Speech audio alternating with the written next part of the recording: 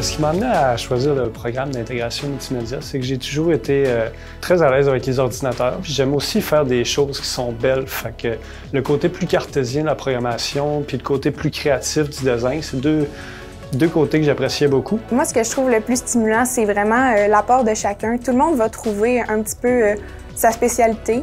Puis une fois qu'on tombe dans les travaux d'équipe et tout, bien, tout le monde met euh, sa petite touche, puis ça fait un, un beau projet commun. Il y a plusieurs profils de sortie suite au programme d'intégration multimédia.